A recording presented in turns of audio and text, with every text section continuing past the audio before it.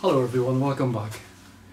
I, well, I finally got it finished. You can see I've insulated and I've also put on an extra air blade at the top and a bypass between the flow and return and that's because I've got a valve system, well a zone system with, with valves, zone valves and if both of those valves are closed then you want the pump to be able to circulate so there's a pressure bypass valve there on that.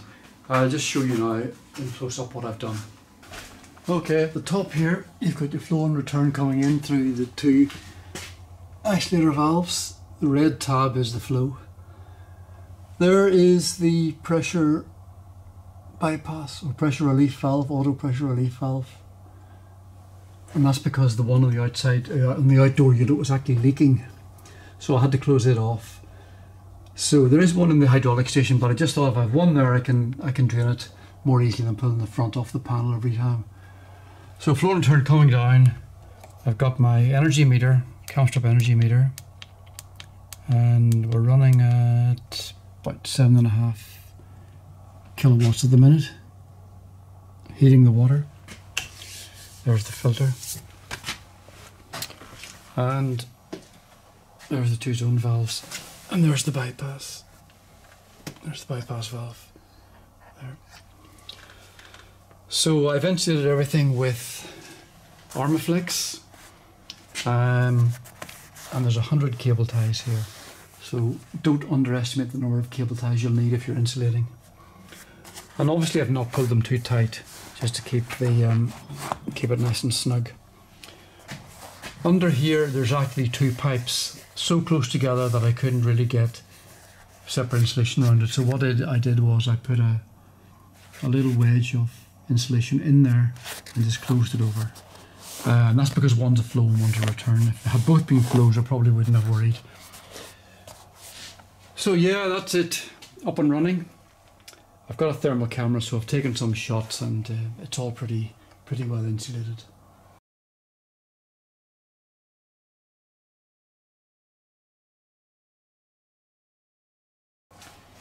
The one thing I would say with the control center is that because I've got a zone system, and it's a two zone system obviously, the the controller seems to think or seems to assume you'll always be mixing, I guess for underfloor heating. So when it's in heating mode, you hear, constantly hear relays clicking in and out, mixing, attempting to mix spoke to Vaillant about this and they said, look, it's it's a flaw in the system to some degree. It is, but it is normal, so not to worry about it. The only other thing that I've noticed is that although I've got different time settings set up, you know, heating settings set up for the two zones, it seems to turn them both on together and both off together. It never seems to discriminate and say, well, time to heat zone one and time to heat zone two. It just does everything. So I don't know whether there's something wrong with my setup. I mean, I've, I've spoken to them about it and um, about the setup. I haven't spoken to them about the fact that both valves seem to be, you know, on at the same time and off at the same time. So uh, I need to check that they've given me the right, what do they call it, wiring diagram number, whatever. But I think that's correct. I think I'm set up okay, but I, who knows. Yeah, so I'll give you, I'll show you now what the outside looks like. Don't know if you can hear it, but it's going at 9 kilowatts at the moment, which is its full output. It's a 7 kilowatt nominal. I also plumbed in the condensate pipe, so you can see I took it down the wall. And rather than going to a soakaway, I took it along, round the corner here to a gully. And what I've noticed is that on a wet, cold, wet day, this thing gives off gallons of water. So I, uh, for me a soakaway wasn't going to work, especially under a path. So there you have it. There's the isolator, and return.